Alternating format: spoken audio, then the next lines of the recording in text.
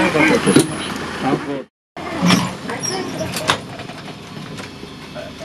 車します。ご注意ください。本日も観光バスをご利用いただきましてありがとうございます。この車は八代駅前、品津、君ヶ淵駐車場経由、道の駅田野浦行きです。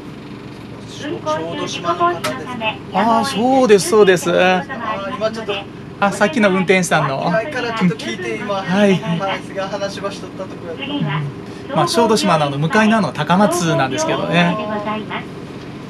熊本そうそう宗谷岬のあそこのバスがえらい綺麗かったらしかですよというて今話は聞いたもんでそうですね。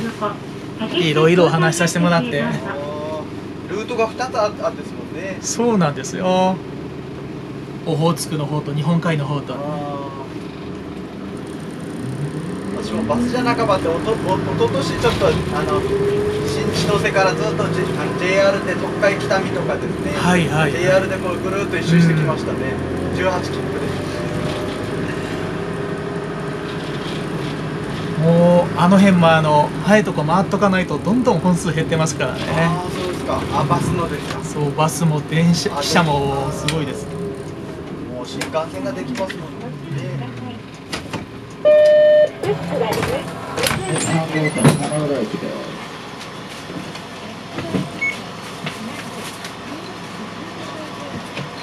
みません、八代駅に、はい行きますよはいえっと、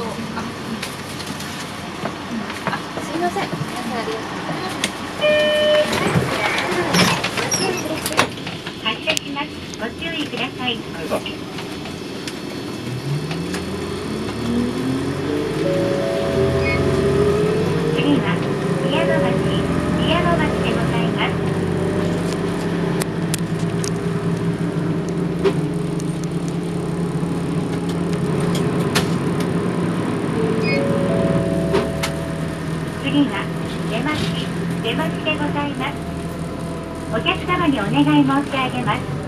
携帯電話は電源をお切りになるか、マナーモードに設定の上、車内での通話はご遠慮くださいますようご協力をお願いいたします。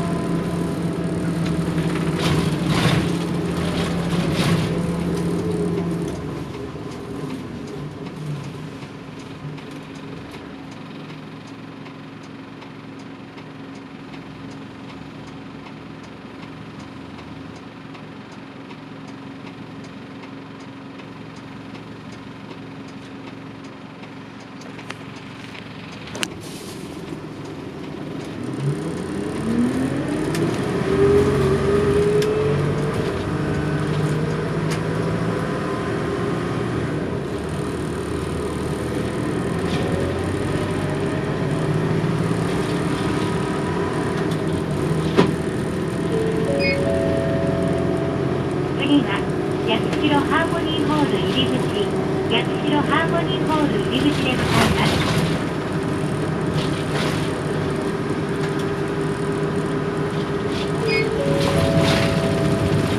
次は八代タバコ産業前、八代タバコ産業前でございます。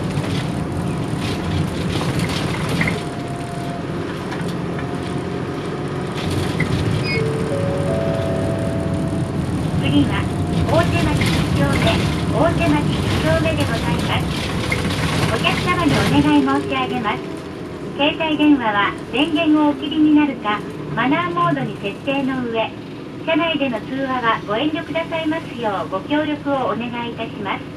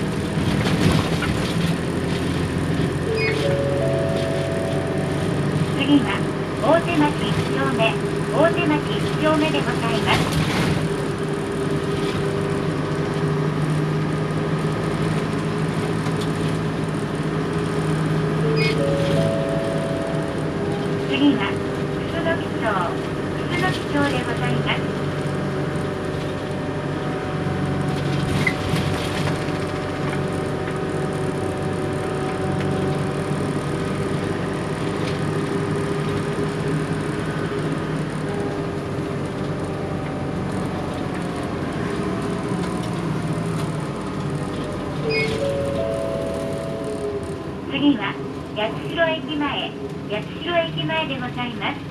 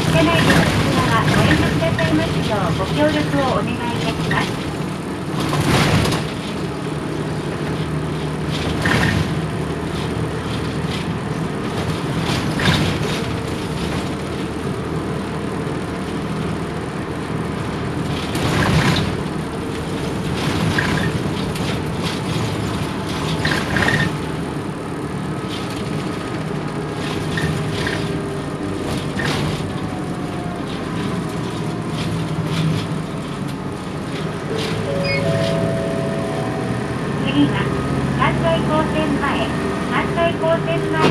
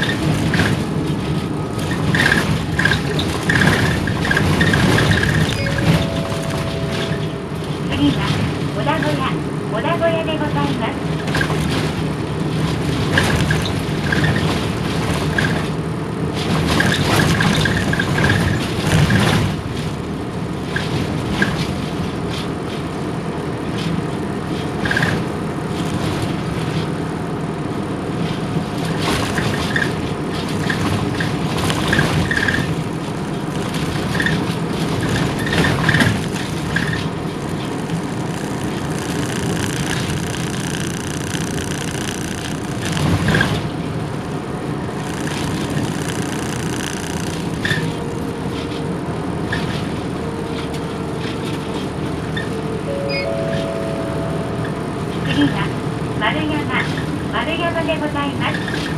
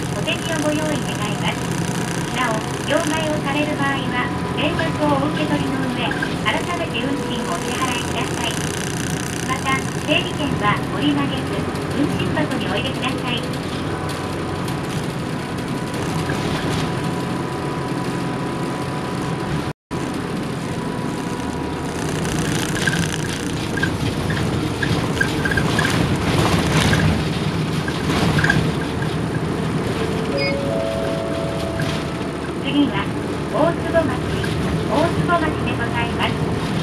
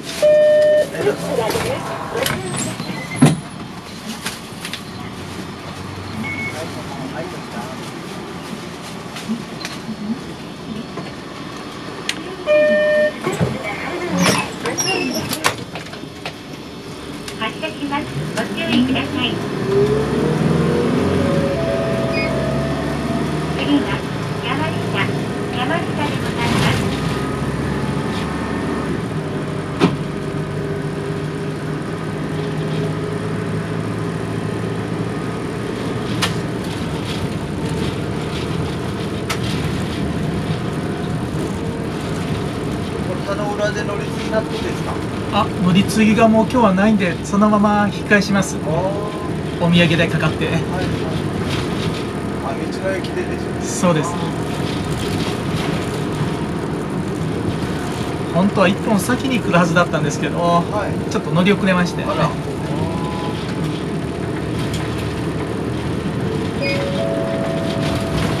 次は港温泉駅前港温泉駅前でございますちょうどこれで駅は 6, 6時からですねうん。あのその道の駅が弁当の半額になってですよ。あちょうどよかった。ねちょっと今日でも休みやっけんですね。どうかなとうん。残っとくかなとか思いながら。平日はですね結構空くんですけどね、はい結構6時ぐらいから地元の人がスタンバってますねみんな知ってますけどですね。よしもう混ざって。よはい刺身とかも半額になってます。っし。ゃええこと聞きましたね。次は稲吹駅前稲吹駅前でございます今日の福祉や夜バーケッ体育に関してのご相談は次のバス停前八代市第六地域包括支援センターオレンジまで。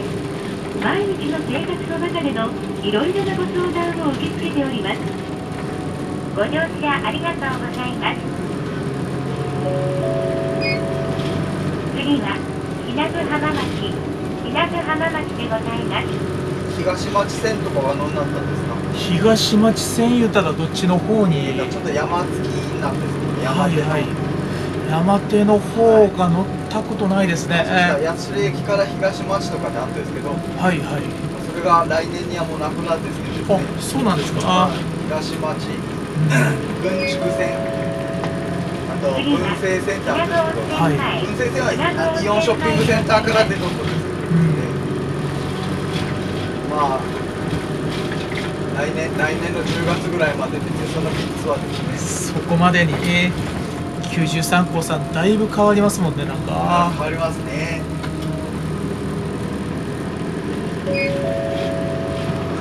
次は平部中西町平部中西町でございますまあ、あのやっぱ路線もちょっと減らさんとですねうんなんか人間が足らんらしかったですよ。まあどこもそうですよね、えバスの運転士のなり手がなからしかですよ今厳しかもんですけどね。進行中の座席の移動は危険です車内での事故をどこももうかなり苦労しとるみたいですね。ね。バスが完全に止まりまして結構厳しい割には給料が安かもんですけどね。なかなかやっぱ入ってきてもすぐ辞めたりもうちょっと採算が取れるとこならいいんですけど。なそうですねかなか補助金に頼りっぱなしですけどね。今やっぱ乗り合いタクシーなんかになりおっけんですね。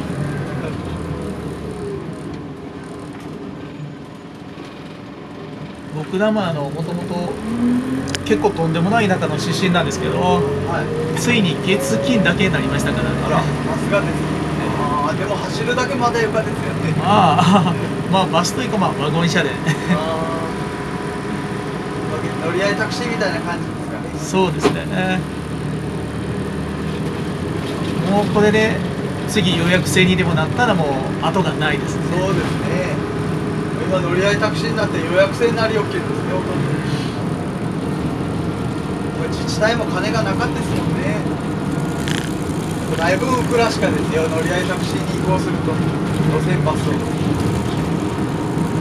でそれをなんか福祉なんかに当てられるらしかですよね。やっぱ市とかもそうですよね。まあお金も限りはあるしそうですね。で今年寄りが多くなってきるんですけど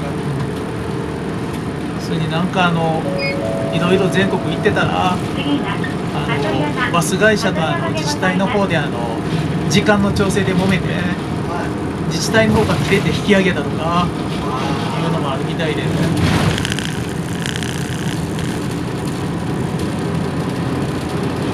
分自治体が引き上げるとバス会社はしないです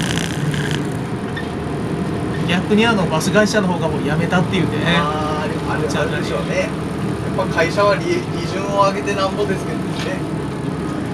儲け儲けん儲けんことはやっぱせんですそうよねですよね。結局儲けんでもトントンならですね。うん。あの雇用とかやっぱ地方の雇用とかは助くでしょうけど。なかなかちょっと時間調整しはいはい。国内地理検定は受けに行こうということになって、ん。でその運転手さんと話しとったらそのお客さんのことも言わしたもんです。けどで今その運転手さんと私がずーっとその国内地理検定は勉強しよう思っててこれまた2級とか1級になって難しかったですよ。でもあれが取れればもうこの先は。あどれですかうん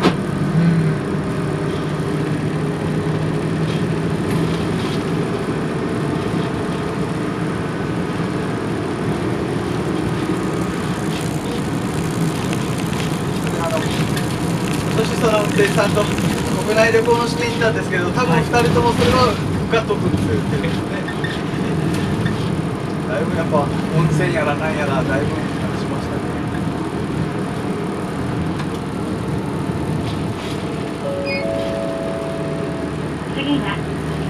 あの辺あの運転手さんやりながらあの取られるとあの例えば九州三高さんではあの観光地行くようなところの案内とかいうのでも別にいろいろ口はあるみたいですね。いろんな会社で。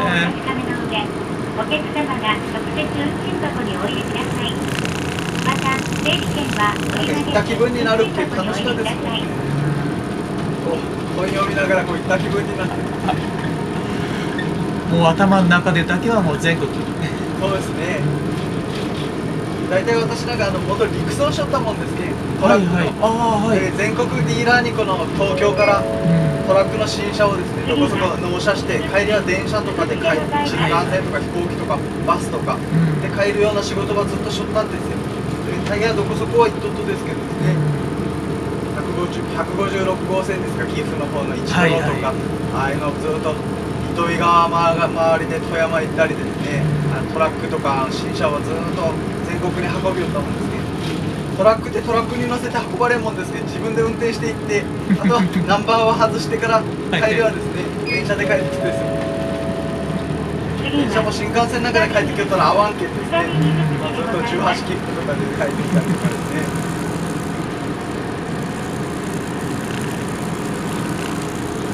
じゃあの新小高とか岐阜のああいところが良かったですね。ああそうじゃあの辺もバスで行ってもやばいとうん。安曇野長野の安曇野とかあの辺がやっぱすごいやっぱ良かったですね今印象に残ってもうあの辺も穂高からもう上高地もあるし飛騨温泉とかもあるしでちょうど夏やったけんですね、うんあの肌の温泉がいっぱいあるもんですけどはいはい、夜裸であそこ入り温泉入ってうん、新穂高とかあの辺の私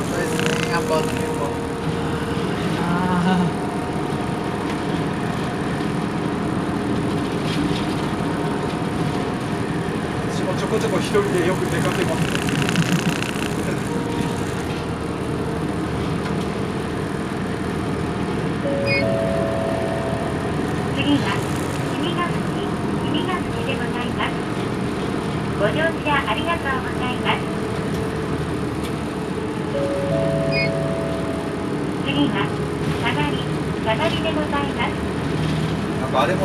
もなくなるらしかですねあのスーパーホットとかーはいはいはい。カシオペアですか寝台特急うんまだ乗ったことなく思うんですけどあのどやんかなくなる前に乗りに行こうかなぐらい今計画立てよう1回ぐらいはちょっと乗ってみたいなと。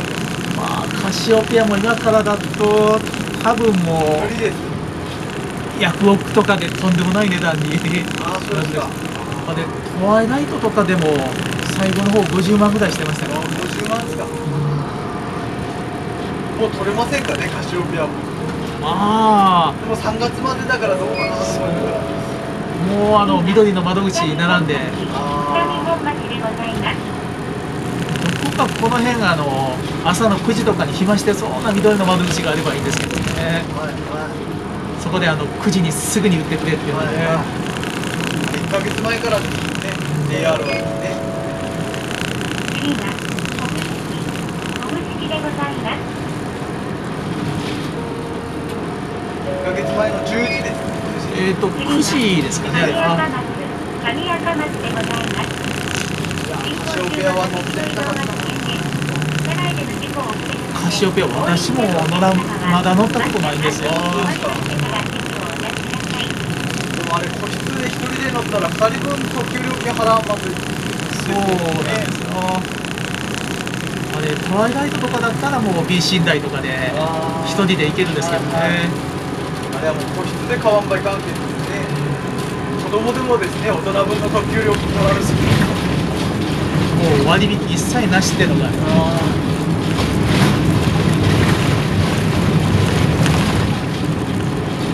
ああいうとこだったらよかったですけどね。光レールスターの個室とか。そうですね。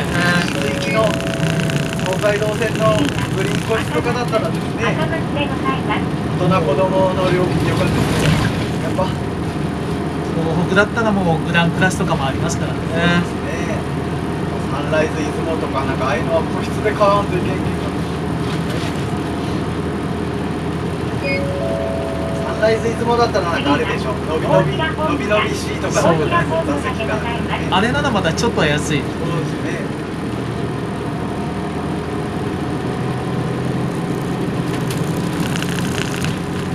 でもあれシングルほど高くないんだったらあのあのダブルとかならまああのシングルソロとかいうのがあってはあのやろうと思ったら2段ベッドにできるけど基本は1人用っていうお部屋があるんです。いああそうですか。でシンちょっと高かったですか？そうですね。シングルより1000円ぐらい高くてはい。あのダブルよりはちょっと安い。まああだいぶ安いぐらいであまあ荷物がちょっとあの2段目に追い出せるんで次ねがはい。はい。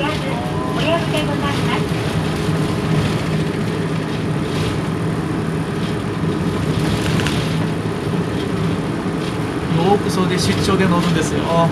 え？あの大阪から一応上りだけ乗車できるんでね。はい。あれにあの0時半に乗るからあの朝の5時にあの横浜に着くんで。はい。あそうですか私仕事場があの2箇所あるんで。はい。あのよく私は東京に乗るときにあのムーンライトながらはですね、はい。小田原まで行って18切符で乗るようになりますね神小籔でございライトながらその大垣まで深夜快速もうみんなも小田原過ぎたら急にお客さんがボコボコっ増えますもとんね。で小田原まではですね時間で1枚いる券ですね。小田原までは自分で切符買ってそこまで行ってちょうど12時過ぎた最初が小田原やったんです。よね確か。でちょうど乗ってきよったんですけど昔はですね指定席じゃなかった見学をもうすごかったです。あの足元に寝よったですもんね。でこの八代まではですねあのその小田原から1日で帰ってきよったんですよ。はい。の八代がギリギリやったんですもん24時間で。あ帰ってこれるもんですね。帰ってこれますね。でもこっちから行く時には深夜快速がないけんですね。岐阜の大垣あたりでも一泊千万ですよ。一泊っていうかそのベンチで寝とってまあ早朝の電車を待つとか。そういやムーンライト九州とかも気がついたら消えてましたもんね。あーフライト九州はってなんか接続がのガタンガタンってなってんですよねびっくりしてしてあのなんですかね。温度調節もちょっと壊れとったでしょうね。暑くて暑くてですね冬だったんですけど言いに行ったことがあってですよやっぱ。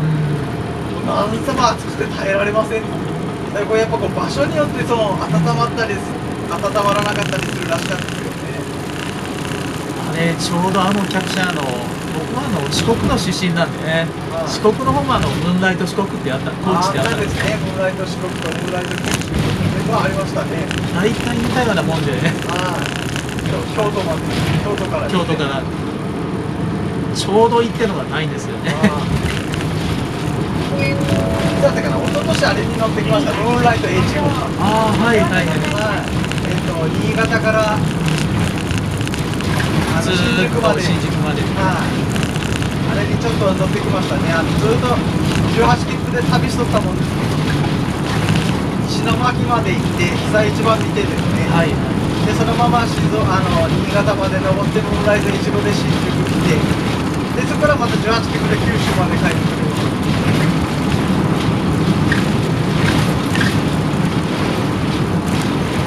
いやでも自分はやっぱあのあれですね大塚をずっと来たあの北海北見ですかね。はいはい。特別快速来た。あれよかったですね。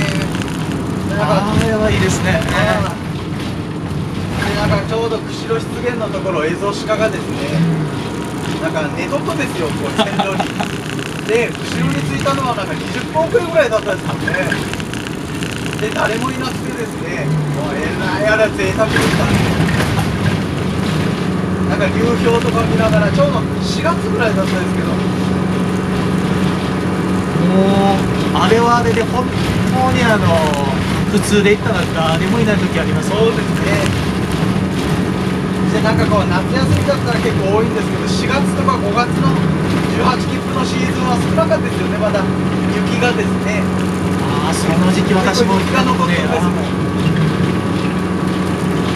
であのなんか帯広に行って豚丼食べてはいはいはい。六花亭の本拠地に出てきて。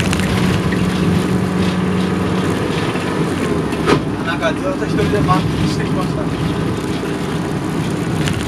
もうあの辺はもう食べ物もいくらも胃がってもって感じゃないですかああそうですねじゃああのなんか三手丼ですかねはい後ろのなんかこう市場であれ良かったですねなんか九州じゃ食べられないようなこうニシンとかあのなんなんですかねカニの卵というかはいあれもなかなか食べられんけんですねボタンエビの卵持ってるやつとかああいうのはやっぱかったですね。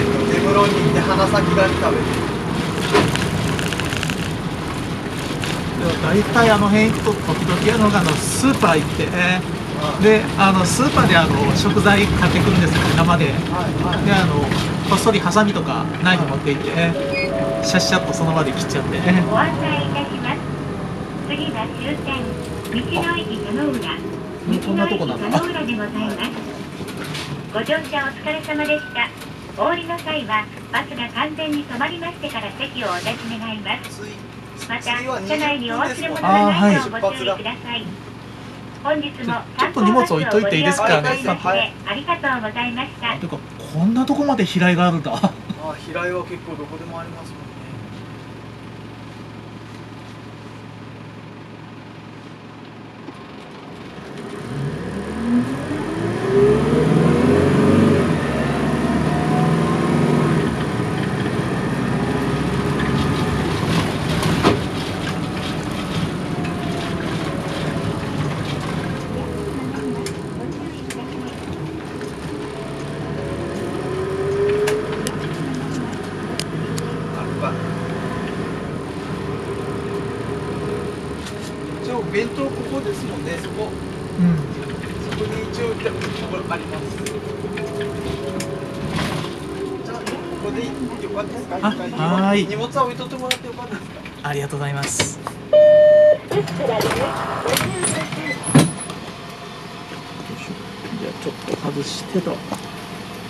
よいしょ。じゃあすいません。ちょっと行ってきますね、はいはい。